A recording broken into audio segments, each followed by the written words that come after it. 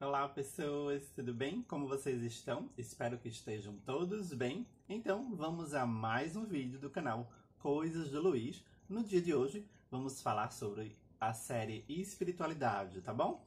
E antes mesmo de eu dizer qual o assunto desse vídeo, eu quero pedir que você dê uma curtida no vídeo, que você também se inscreva no canal para você ser um dos primeiros a, ser, a receber né, notícia quando uh, a gente atualizar os vídeos.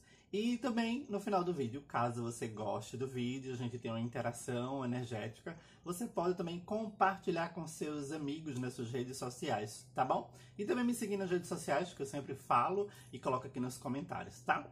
Então, o vídeo de hoje, eu quero falar para vocês sobre a... É, eu bati na câmera, né? Eu sempre pago esse mico. Quero falar com vocês hoje sobre a, a filosofia da afirmação positiva. Uh, todo mundo sabe, pelo menos se não sabe vai saber agora, né? Que eu sou apaixonado pela Louise Hay, né? A Louise Hay foi uma das precursoras das afirmações positivas, do pensamento positivo, do trabalho com as afirmações positivas. E eu costumo dizer que a afirmação positiva não é só uma frase, uma sentença. Existe por trás disso uma filosofia de afirmação positiva. Ou melhor dizendo, uma filosofia de vida de pensar e agir positivo. A Louise Hay vai dizer nesse livro, vocês sabem que eu gosto sempre de mostrar a fonte, né? Nesse livro aqui, O Poder das Afirmações Positivas, ela sempre fala o seguinte, né? a base, ela já começa dizendo que a afirmação é toda palavra que eu digo ou todo o meu pensamento. Qualquer pensamento meu é uma afirmação. Porque às vezes a gente pode achar que a afirmação é só o que eu falo. Não. O que eu penso, um pensamento meu, também é uma afirmação. Dessa forma, eu posso falar palavras positivas ou palavras negativas, então afirmações positivas ou afirmações negativas, como eu também posso ter um pensamento positivo e um pensamento negativo. Afirmações positivas e afirmações negativas. Então, o, o nosso trabalho, quem trabalha com essa linha de filosofia, de, de, de positividade, né? De fazer essa troca, de expandir a consciência e por isso mudar o paradigma, né? O paradigma negativo para um paradigma positivo é necessário a gente é, atentar para esse primeiro conceito, saber que o que eu penso e o que eu falo são afirmações e identificar a quantidade de afirmações positivas e negativas que eu tenho. Talvez a gente, você e eu, eu, a gente fala muita coisa negativa e pensa muita coisa negativa. E aí a, a Luísa vai orientar a gente da seguinte forma, né? A gente pode pegar uma afirmação positiva, repetir, como eu gosto sempre de dizer, escrever e trabalhar aquela afirmação positiva durante o nosso dia.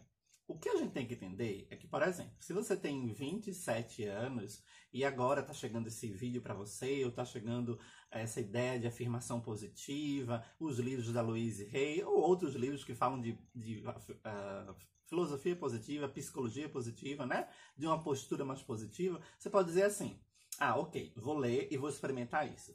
E aí você acorda de manhã e diz assim: ah, deixa eu ver. A primeira palavra de manhã é muito importante, a nossa primeira frase, nosso primeiro pensamento.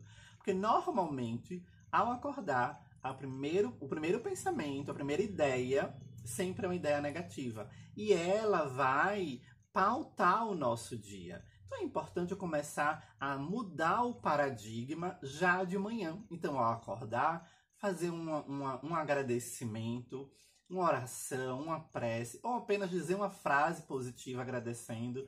Gratidão, Deus, gratidão, universo, pela minha noite de sono. Pronto, mas normalmente a gente já acorda reclamando. Já acorda, droga, segunda-feira, droga, tem que trabalhar. Ai, que saco, esse vizinho fez zoada. Ai, minha mãe é chata, meu pai é muito chato. E a gente já acorda nesse espírito negativo e de reclamação. Aí a gente depois não entende porque o dia da gente torna-se um dia difícil. Porque, na verdade, a vida devolve pra gente o que a gente dá pra vida. Então, se eu dou pra vida murmuração, reclamação, se meus primeiros pensamentos e sentimentos de manhã já são negativos, consequentemente eu vou receber de volta pela lei da atração as coisas negativas. Então, é importante desde cedo já eu começar agradecendo, tendo uma postura positiva, uma atitude positiva e uma fala positiva e um pensamento positivo. Mas tudo bem, a Luísa Rei tá até nos orienta nesse livro, que é daí que eu tiro essa ideia, essa construção de filosofia positiva, porque não basta você dizer apenas uma frase positiva durante a manhã, ou até sair do trabalho, ir para o trabalho, né? E você, ai, tudo está bem no meu mundo, e passar o dia todo reclamando, murmurando do seu chefe, do seu trabalho, da sua esposa, do seu esposo, dos filhos, de tudo. Aí você diz, não funciona a afirmação positiva, tá vendo? Acordei de manhã, agradeci, fiz uma prece, fiz uma afirmação positiva, mas meu dia foi um inferno.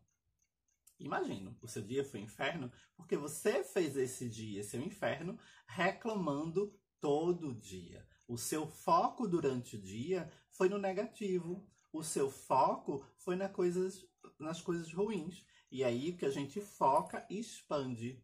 Então, por isso que é bem importante a gente entender que a, afirmação positiva ela tem que ser feita, não é só uma frase, é uma postura. E como eu sempre digo, é um exercício. Então, se hoje eu tenho, sei lá, 27 anos, conheci agora a afirmação positiva, hoje é o meu primeiro dia, estou fazendo afirmação positiva, aí amanhã eu paro de fazer afirmação positiva. Ou amanhã não deu certo e eu não vou fazer.